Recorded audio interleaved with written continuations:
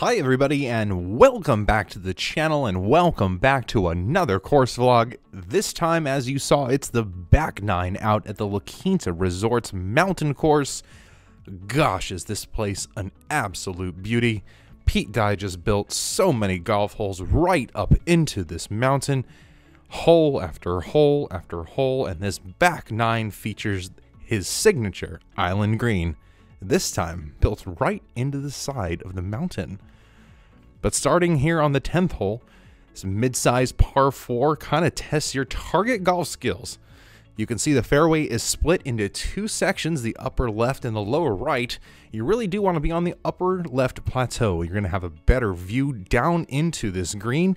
Got to carry this little bit of a chasm and that bunker down in front into a pretty mid-sized green and it's two tiers, that bottom right front and a upper left back. As with most par 4s under 400 yards, I like to take my 2 iron off the tee, smoke that thing about 260 yards down the fairway, and left myself a good gap wedge here into the back flag.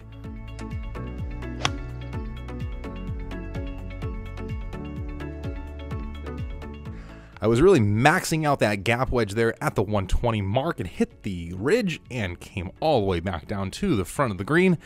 I was able to lag this putt up nice and close here to about three feet and tap in the par putt, go on to the 11th hole. Now here number 11 is another par 4, this one playing right on about 400 yards. You got to avoid that giant waste bunker. As you see, the car path goes right through it. It's not going to give you a good lie and there is a little severe slopes down into it. Look at the staircases down into it on the left, and a pretty uh, tall wooden, I mean, a wooden wall there on the left-hand side as well. Hey, what are we worrying about the bunker? Let's hit it out in the middle of the fairway. Leave yourself a mid-iron into the green, and, well, got a bunker on the left to deal with and a bunker on the right to deal with there uh, into the green.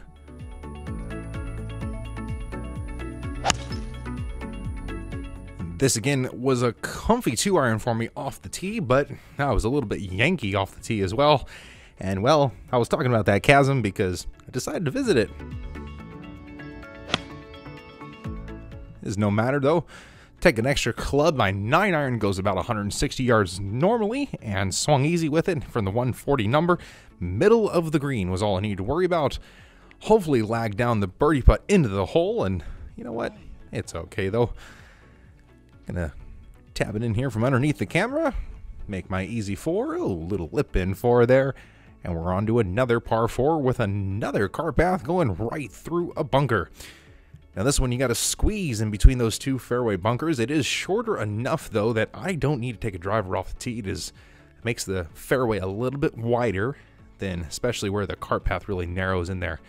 Water off to the side really isn't much in play on the hole, really more of an aesthetic, especially there with the homes in the background, and as you see, we are starting to climb right towards the mountain. Sooner or later, we'll be right next to it.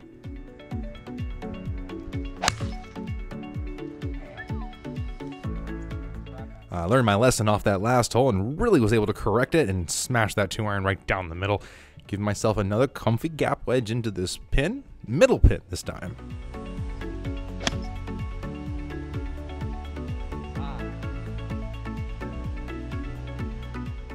Was able to hit another one on the green and give myself another look at birdie.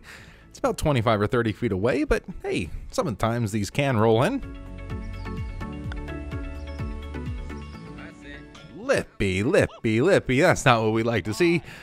But another effort-free tap-in par is not too bad, keeping us at one over par for the day.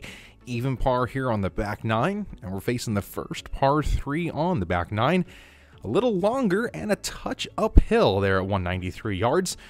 I'm going to be facing a middle right hand flag and there's plenty of trouble and plenty of little dunes out there to catch an errant shot.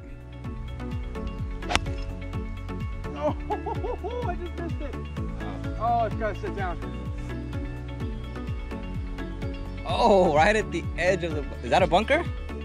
Right at the edge of the bunker is correct, Fernando. Standing in it had to choke way down on my sand wedge.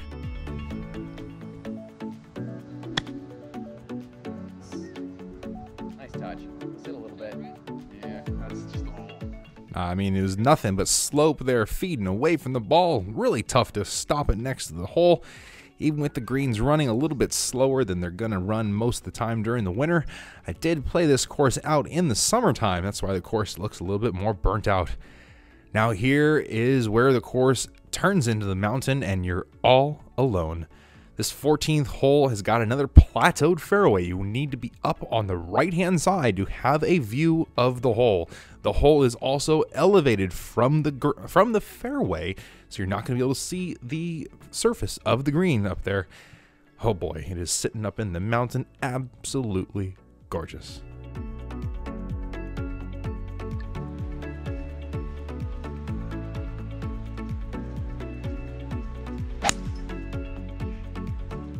Uh, the two iron was really working for me today. No reason to take the driver on this hole. Smashing two iron up to that top tier fairway and gonna leave myself another comfy gap wedge here into this hole. Let's hit one close and make a bird.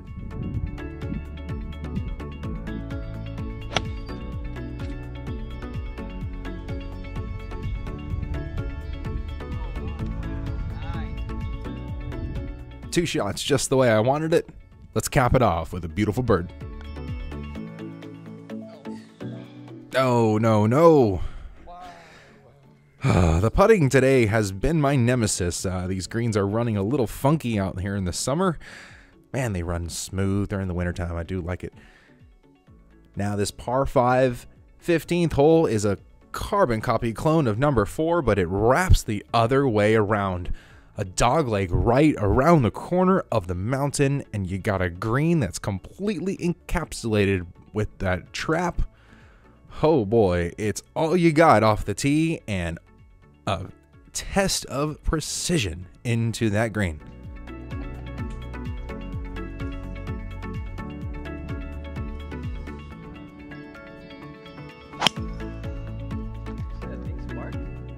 First time I had to hit the driver for a while, but the swing was working. 100% confidence in the shot, and I put it right down Main Street. Did not have a 100% confidence in that six iron. I thought it was going to fly a little bit long, so I took a little bit off of it theoretically, but you know what? In the end, I just got late on it and pushed it off to the right, ended up in the bunker. But you know what? It's a par 5. We're here in 2. Let's splash it out. And let's get up and down for our birdie, huh? It's, okay, it's close enough. What is it, 12 feet there? Makeable.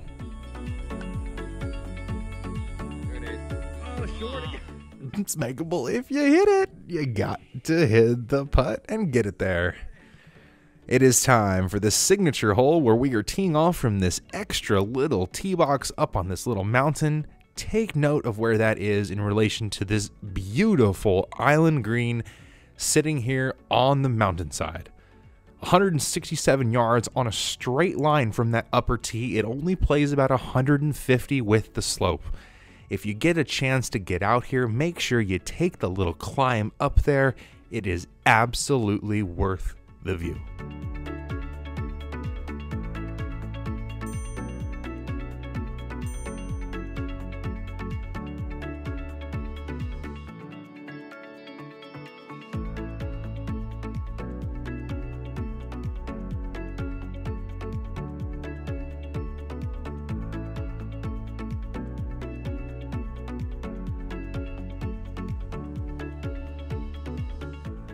A view as pretty as this calls for a shot just as pretty.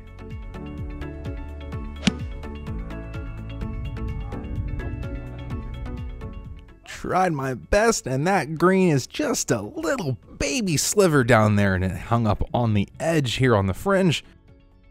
Thought maybe I can roll one in from the fringe because, you know, I wasn't rolling anything in from the green, but hey, it's just another tap in par, and we're on to the 17th hole the last hole you're going to see up against the mountain, and the last hole you're going to see with one of those giant waste bunkers replacing the car path.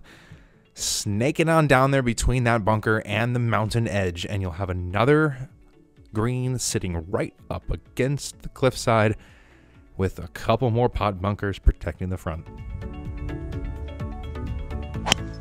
This tee shot is blind from these tees back here. You just got a little finger of the fairway that you can see, and you got to hit it over the edge of the mountain there and just hope you picked your line perfectly. I actually thought I pushed it a little bit, but it was down in the little depression here on the right side of the fairway. Had enough that I can take a decent pitching wedge into this front flag, was trying to really flight it and get the distance correct because I needed to make a birdie. I wanted to make a birdie. Birdie, birdie, birdie, that's all we like to make. Got to get this score back down to even par. But, yeah, that's just to be the story of the day. Slow, weird greens, and you're not to be able to hit the putt. You know, one more reveal here shows the 18th hole hugging the left-hand side of the property here. Takes you back in between the homes and the driving range. It's a shorter par 5 and there is a decent amount of trouble off the tee box. It's a kind of a shoot of a tee box there and you're just staring at those three little pot bunkers.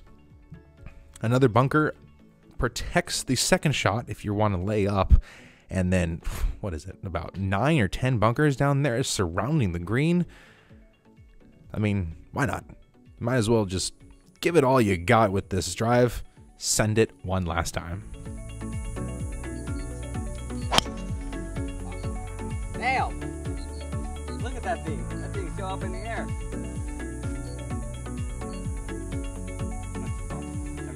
That qualifies as all i got and unfortunately it didn't quite turn over the way i wanted and it was up in the lip of one of these pot bunkers I just made sure that I had enough club to get it over the lip in front of me, which was a six iron. And you know, the six iron was also enough club that if I caught the ball perfect, it would have got there. But caught a little fat, left it short of the green. Here, a nice 60 yards to the hole. Was able to play a little flighted wedge down in there. Well, we are just about done out here. And uh, hey, I want to give a shout out to my boys over here, the Desert Golfer and Double Dogleg Golf. Check both them out. I'll keep the put their links down in the description below. really was a great time playing out here with Fernando and Chris. Do make sure you check out their channels. There's been a ton of content that we've created together from all different courses around the Southern California area. Unfortunately, my last birdie attempt at the back nine fell short once again, and I had another effort free tap in par. One bogey on the back and eight pars. Hey, that's not too bad for a nice two over par 74. I do appreciate you all for joining us today. Please smash that like button down below and don't forget to subscribe if you haven't already. I'd love to see you back here again soon. Thanks again for watching. Later.